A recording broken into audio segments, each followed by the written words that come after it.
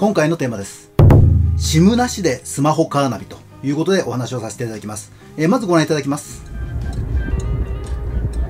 左方向です。こちら SIM が入ってなくて通信を一切やってないんですね。でなおかつ Wi-Fi も全て切ってます。それでもですねこういった形で使用することができるということでお話をさせていただきたいと思います Google マップをオフラインで利用するというやり方なんですが、このマップのですね、オフライン化、ダウンロードっていうのは、日本の中では以前はできなかった機能です。ですが、え去年の11月の頭ですね、最初 Android からスタートして、その後 iPhone ということで、ちょっと期間が空くかなと思ったんですけど、まあ、4日と8日ということで、ほぼ間を空けずに利用することができるようになりました。このオフラインの Google マップって海外ではかなりメジャーで普通に使ってることがあるんですが便利なんですよ。で、今回ですね、どのような使い方でできるのかというのとともに、また海外からいらっしゃったお客様が、まあ、主にですね、このオフラインを使って、で、SIM を契約しなくても、こういったことができるということを、まあ、知るということで、お話をさせていただきたいと思います。それでは iPhone を立ち上げますということで、iPhone の方から Google マップを立ち上げました。で、そうしますと街中が表示されてるんですが、アイコンのですね、右上のアイコンを選択するとメニューが出てきますんで、その中にオフラインマップスっていうところがありますので、オフラインマップス選んでみたいと思います。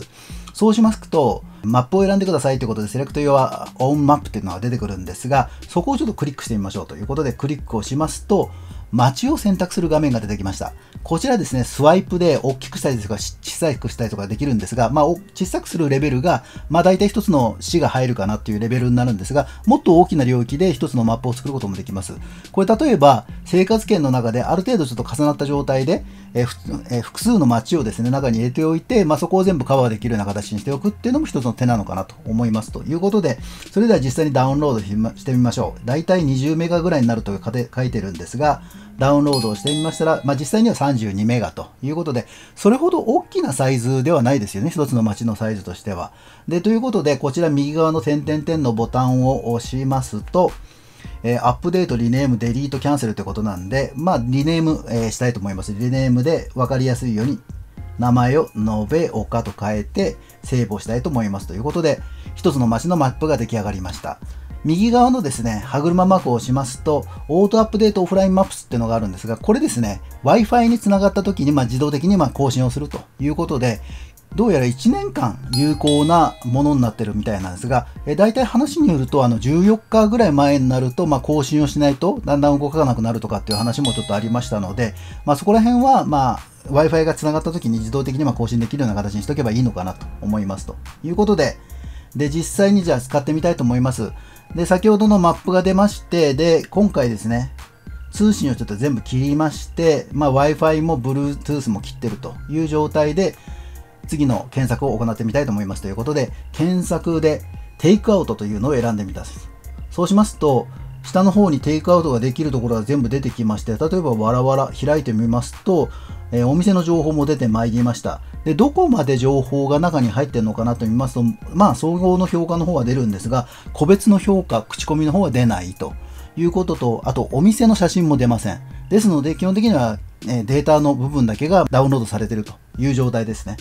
では、それで何ができるのかっていうことで、経路検索をしますと、車の経路検索が出てくるんですね。つまりは、マップとお店の情報と、また店舗情報、いろんなものですね。情報と、あとプラス、えー、交通情報、えー、一方一方通行がどっちなのかとかっていうような情報が全部中でダウンロードがされてて、車のですね、カーナビとしては使えるということなんですが、他のとこ見てみますと、公共交通機関選ぶと、えー、公共交通機関はインターネットから情報をダウンロードしてるんで、まあ、使えませんよと。で、徒歩のところに関しても、ちょっと細かなですね、路地とかっていう情報が中に入ってないみたいで、まあ、使えないみたいですと。で、タクシー情報も使えないということで、基本的にはオフラインの中で使えるのは、車の経路検索、あとナビゲーションの方が使えますということで、先ほどのマップに戻ってまいりました。で、戻ってきて、じゃそれでは実際にナビゲーションスタートということで始まりますと、まあ、ヘッドサウスということで南に向かってくださいということで出てるんですが、このような形で、まあ、通常のですね、Google マップのナビが使えますということで、実際に走り出してみたところの画面、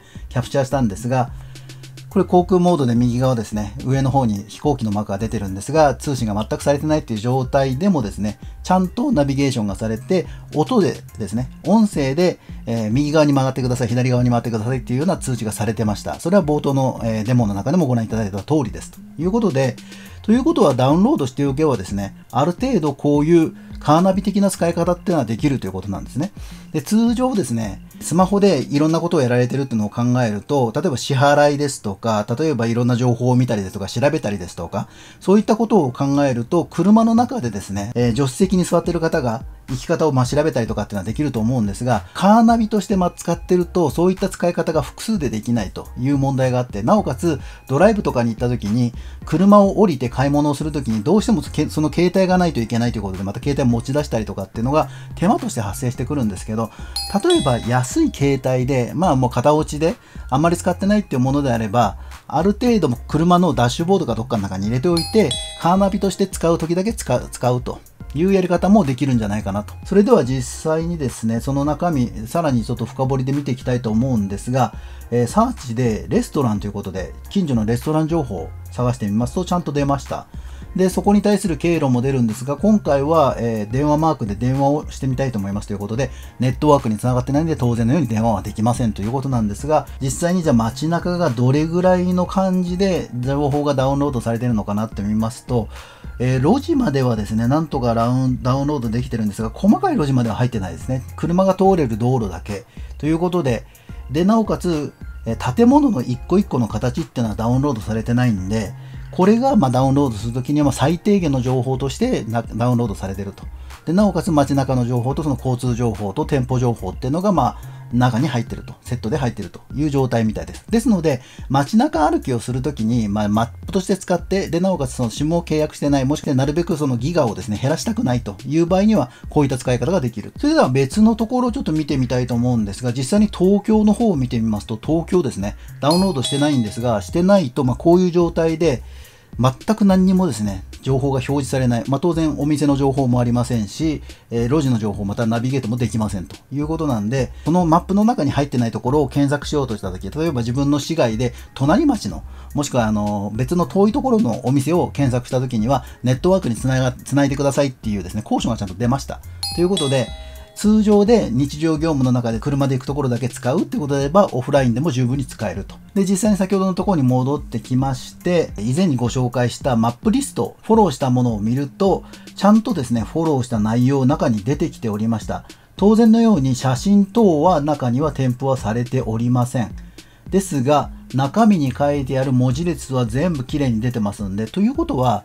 フォローした段階で自分の携帯の中にその情報が全部コピーされて持ってきてるってことなんですよね。で、インターネットでいちいちま確認はしてないと。で、そこで更新があった場合にはまあ入れ替えるというようなことをどうやらやってるみたいなんで、ということで、これ見てみますと、実際の中身ですね。西郷隆盛の記念館の方を見てますと、その中の説明ということでちゃんと出てきておりました。これで、え相手の方に行くですとか、カーナビをかける。また内容を確認するといったことができるわけですと。で、また別の使い方なんですが、例えばですね、山間部、今山の中をですね、指して、で、これをダウンロードしていくんですが、ダウンロードしますと、これ、氷川温泉の、これですね、ユネスコエコパークに認定された、まあ、山の地域なんですが、山登りをされる方が非常に多いんですよね。問題になるのは、通信がなかなか行き届いてないんで、えー、県外になってしまうということなんですが、まあ、県外になるんであれば全部もう電信を切っておいて、GPS の情報だけ残して、でなおかつそれをまあ常時記録するっていう形をとっておくと、GPS ロガーと同じような使い方ができると。これ Google マップのタイムラインっていう機能があるんですが、どういった時間帯にどのような経路を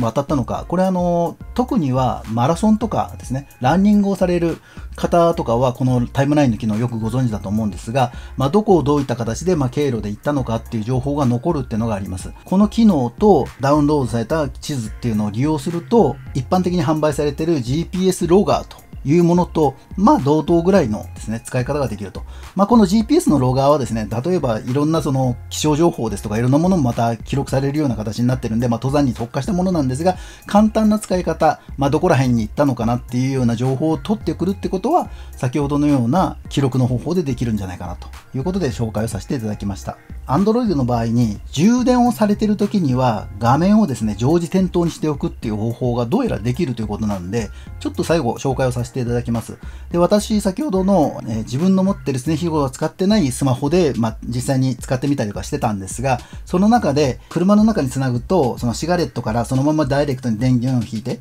電池をかけると、まあ、画面がオンになってというような使い方がしたかったんで、ちょっと試してみたんですが、こちらですね、設定の中から見ますと、システム、一番下のシステムのところを選択しますと。で、そうしますと、中にですね、ソフトウェア更新とかいろいろ書いてるんですが、中身見てみますと、端末情報の中に、Android バージョンとかいろいろ書いてるんですが、この中で、ビルド番号を連打することによって、実はロック解除という場面が出てくると。いう機能なんですが、これあの隠しコマンでも何でもなくて、あの通常に公開されている方法なんですが、そこでピンを打ちますと、まあ、開発モードでですね、画面が切り替わるということらしいんですね。でそうすると、先ほどのシステム情報の中にですね、開発者向けオプションというのが出てくるんで、開発者向けオプションを選択すると、その中に画面ロックとか、またいろいろあるんですが、充電中も画面を点灯ってスリープモードにしないっていうのがありまして、こちらをオンにすると、充電をされてる間は画面が暗くなる、オートスリープにならないということで制御ができるような形になってるみたいです。このやり方も例えば合わせ技で使っていくと、えー、常に情報を例えば収集して中に記録をしておいたりですとか、あとまあカーナビとして使うときには必ず自分自身の画面がま消えないような形にするですとか、といった形でまカーナビと同じような同等の使い方できるんじゃないかなということでご紹介をさせていただきました。このチャンネルではですね、こういった形でま外国人が日本に来た時にどういった形でスマホを使うのかっていうのをいろいろ検証してみたりですとか、あとまあ日常生活の中で我々が使うのにどういった形で使えるんじゃないかなっていうですね、使い方の提案まで含めたお話をさせていただいております。ぜひともチャンネル登録していただくと幸いです。まとめ。